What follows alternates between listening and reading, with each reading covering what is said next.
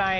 วันนี้ครับช่องทางของเราก็จะถ่ายทอดสด คู่ระหว่างศุลกากรยูไนเต็ดครับที่จะเปิดบ้านรับการมาเยือนของพัทยา FC เดี๋ยวเราไปดูความเคลื่อนไหวของทีมเจ้าบ้านกันก่อนครับคุณพรครับค่ะมาติดตามความเคลื่อนไหวของฟุตบอลลีกภูมิภาคดิวิชั่น 2 โซนกรุงเทพตะวันออกนะครัคะบผู้ที่ถ่ายทอดสดที่คุณฟุกบอกไปวันนี้เวลาบ่ายสามโมงครึ่งนะคะสภาพทีมเจ้าถิ่นค่ะอย่างศุลกากรค่ะอืมล่าสุดโค้ชธงหรือว่าธงชัยสุโกกีกุนซือจอมเทคนิคนัดที่แล้ว ก็พาทีมบุกไปพ่ายราชประชา FC จ่าฝูง0ต่อ2ทำให้ตอนนี้ก็ลงแข่งไป 13 นัด ชนะทั้งหมด 4 นัด เสมอ 6 นัด แล้วก็แพ้ไป 3 นัด มีอยู่ 18 คะแนนก็รั้งอยู่อันดับทีสี่4 ของตารางครับมาค่ะดูการจัดทัพวันนี้ของทางศุลกากรกันหน่อยนะครับ ชื่อเต็มคือ MOF ศุลกากรยูไนเต็ดนะครับครับ ผู้เล่นบาดเจ็บหรือว่าติดโทษแบนไม่มีนะครับอืม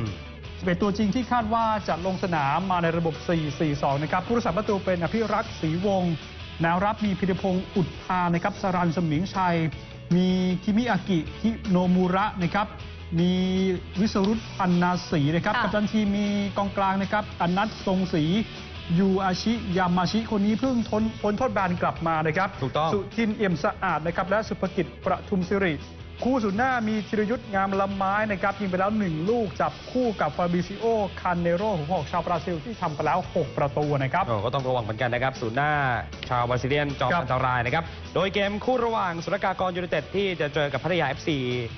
จากแข่งขันการสนามศุลกากรลาดกระบัง 54 นะครับ ถ่ายทอดสด ผ่านช่อง NOW 26 ของเรา นะครับ ในช่วงเวลา 15นาฬิกา30 นาที เราจะเข้ารายการก่อนประมาณครึ่งชั่วโมงนะครับค่ะเพื่อที่จะดูความพร้อมแล้วก็รวมไปถึงสถิติและผลการแข่งขันต่าง ๆ นะครับ แล้วก็ต้องบอกว่าคู่นี้เล็กแรกเจอกันมาแล้วนะครับอืมครับ ก็เป็นเกมที่สนุกเหมือนกันนะครับค่ะเสมอกันไป 1 ประตูต่อ 1 ที่สนามเทศบาลเมืองหนองปลือกับบ้านของพัทยา FC